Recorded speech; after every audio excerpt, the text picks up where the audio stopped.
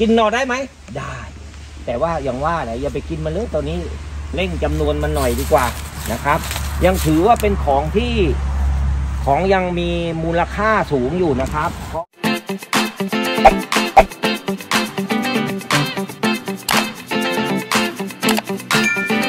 ลุงกลมพาชมไผ่คิดถึงไผ่คิดถึงเรา วันนี้ลุงกลมอยู่ที่สวนไผ่น้องชะอมครับ อันตอนนี้ก็มาอยู่กับกอไผ่จาวาแบล็กชื่อวิทย์ก็คือใจแจนโตครัว แอตโตไวโอลาเซีย คอมมอนเนม ชื่อสามัญก็คือจาวาแบล็กนะ หรือบางคนเรียกว่าไผ่ดำอินโดนีเซีย อันเดียวกันลุงเรียกทับศัพท์เลยจาวาแบล็กนะครับ อันนี้กอนี้ก็ต้องขอขอบคุณพี่วิทย์เอามาสิบน่าจะเกินสิบปีตีสิบปีไปเนี่ย ไม่ใช่เอามาให้ฟรีหรอกนะขายนะครับ ขายมาสองเง่าก็หมื่นหนึ่งพันก็กอละห้าพันห้านะครับ แต่ว่ามันสิบปีแล้วมันก็โอ้โหดูดิครับนี่ แต่ก่อนเราอยากรวบรวมไผ่ดำเนาะก็ได้แบล็กแอสเปอร์มาจากทางพัมโคนะครับ แล้วก็อันนี้ได้มาจากพี่วิทย์นะครับ นี่คือรุ่นแรกๆที่เราเริ่มสะสมไผ่ดำเป็นไผ่เขาเรียกว่าสะสมมารุ่นแรกๆ ตัวนี้ดูดิครับนี่ ตกสามนิ้วนะมันเกินอยู่แล้วครับนี่ดูนี้นี่ดูนี้นะครับ กอเนี้ยเป็นกอเพื่อจะโชว์นะครับกอเนี้ยกอเพื่อจะโชว์ไม่ได้ทำอะไรมัน แล้วก็เคยเคยขุดเง่าไปเหมือนกันนะ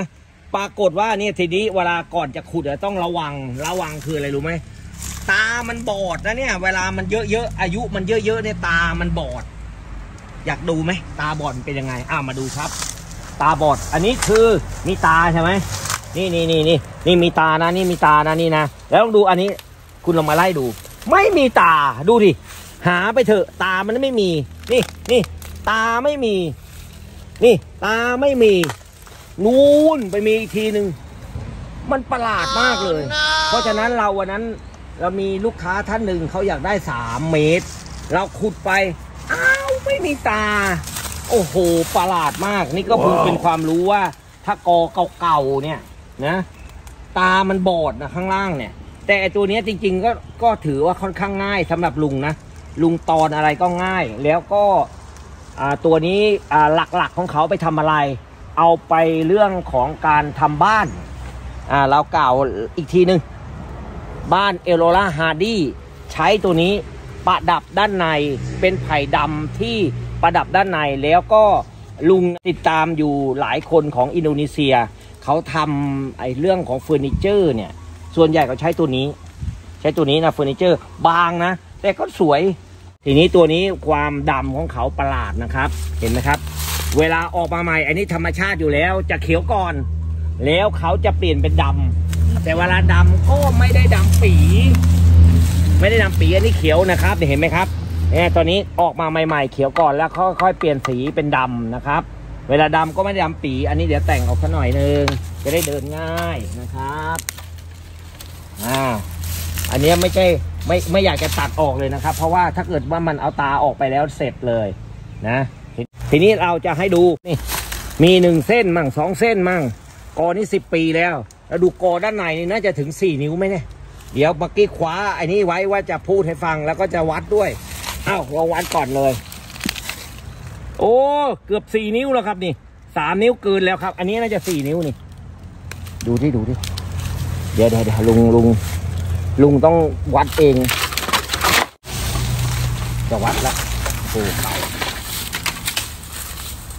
อ่าอันนี้นะลำนี้นะเนี่ยใหญ่สุดแล้วมั้งนี่สี่นิ้วกว่าครับนี่นี่โอ้โหใหญ่มาก แต่ว่า อย่างว่าไอตัวที่เป็นหนวดๆอะไรทั้งหลายเนี่ยเรา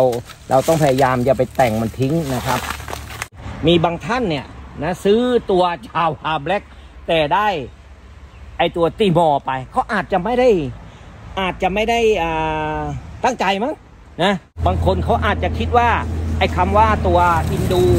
ติโมอสมัยก่อนมันประเทศเดียวกันนะเขาก็เลยเอาไอ้ตัวนั้นนะบอกว่าเป็นอินดูนะครับ เพราะฉะนั้นเวลาเราซื้อเนี่ย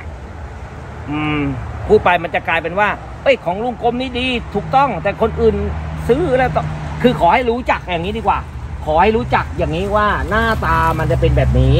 นะครับ ให้ดูให้ดีนะครับ แหล่งพันธุ์ที่เราจะได้มาเนี่ยหน้าตามันต้องแบบนี้คือลำมันจะใหญ่ แต่ถ้าเกิดเราปลูกใหม่มันก็ไม่ใหญ่อีกนะครับ ดูให้เป็นนะครับ ดูให้เป็น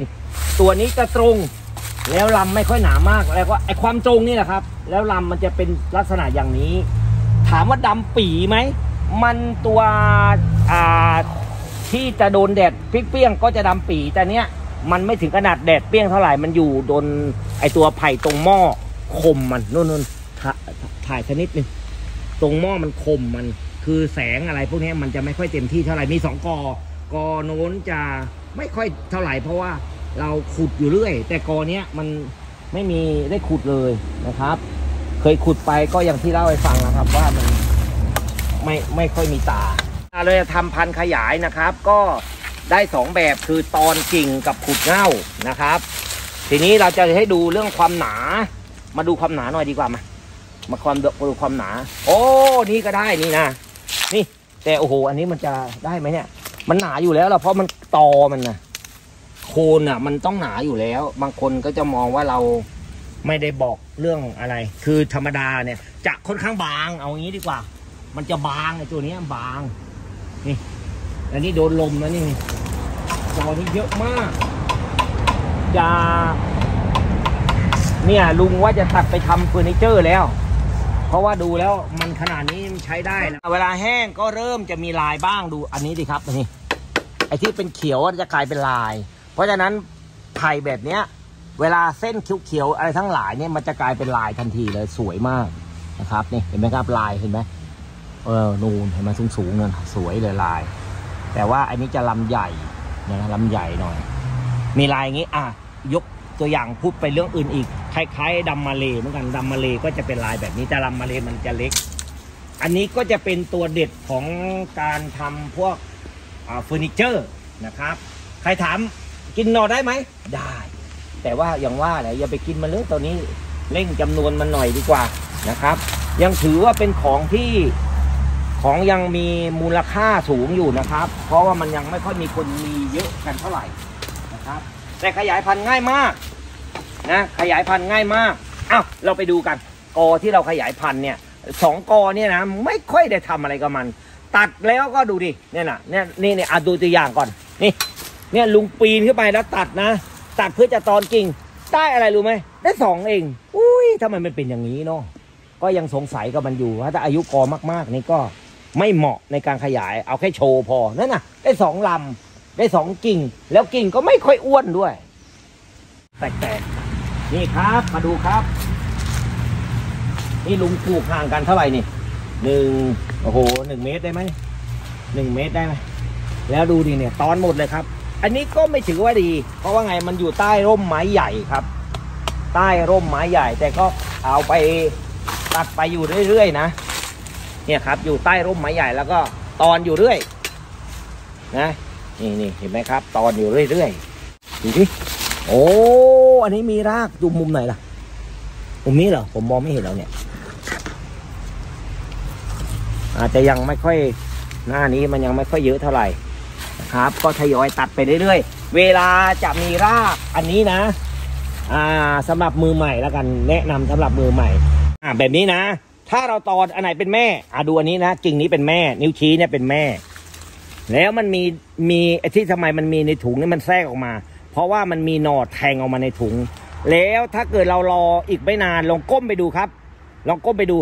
นี่นี่นี่ลองดูดูดูดูนี่ลองลองดูมือตำแหน่งนี้เห็นไหมครับ เห็นรากยัง เห็นยัง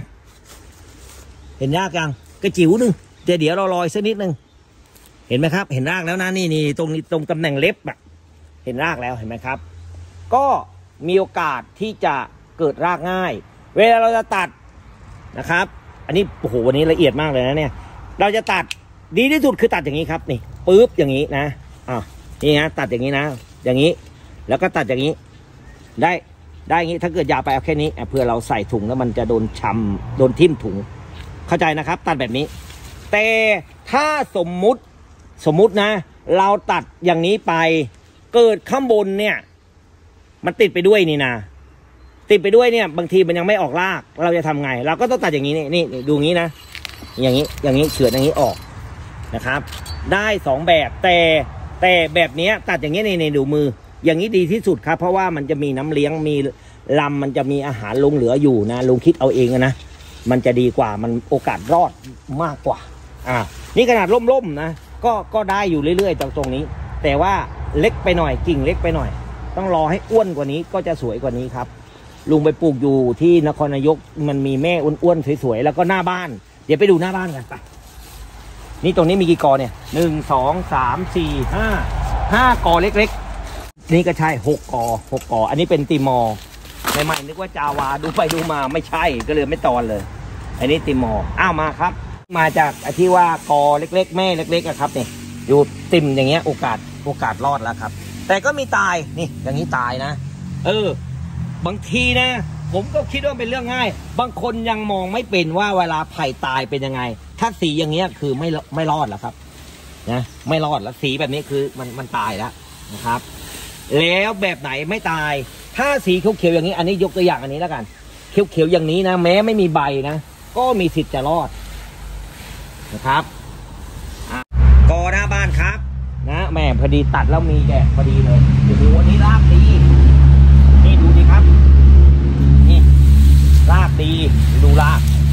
หน้านี้ก็เหี่ยวแห้งอย่างนี้นะแต่รากดีแล้วอีกอย่างเห็นไหมครับเนี่ยมันออกหน่อแทงในถุงอย่างเงี้ยนะ เวลาเราทำลงไปก็ เป็นปั้นเลยครับ มันก็จะสวยหน่อยนะนี่ส่วนใหญ่เป็นแทงแทงหนอแต่แต่ก็มีนี่นี่นี่นี่เอาอันนี้ เอานี้เห็นไหมครับ แม่เดียวๆก็ออกรากเหมือนกันนะแต่ว่าเราชำไปมันก็ได้กิ่งเดียวถูกไหมครับ นี่ อันนี้ก็ลากนิดๆเดียว มีแม่เดียวๆก็มีเหมือนกันนะอ่าโอเค อันนี้คือกอที่อยู่หน้าบ้านเลยกอใกล้ๆกับนางฟ้านะ อันเนี้ยส่วนใหญ่ได้จากตรงเนี้ยไปนี่ก็สิบกว่ากิ่งแล้วนะตัวนี้ไม่ค่อยตายนะทำง่ายทำง่ายนะครับเนี่ยลุงก็มาตัดอยู่เรื่อยนะนี่นี่กำลังจะเริ่มมีอีกแล้วนี่นี่เห็นยังครับ นี่ดูรากนะอันนี้เดียวๆก็มีรากแล้ว แต่เรารออีกนิดดีกว่า ไม่อยากเร่ง แล้วเดี๋ยวก็นี่ อย่างนี้เราก็หุ้มไปเลยครับเนี่ยเดี๋ยวรอแก่กว่านี้หน่อยก็หุ้มแล้วครับ หุ้มได้นะครับ ตัวนี้ก็ไม่ถือว่าการตอนนี่ยากนะ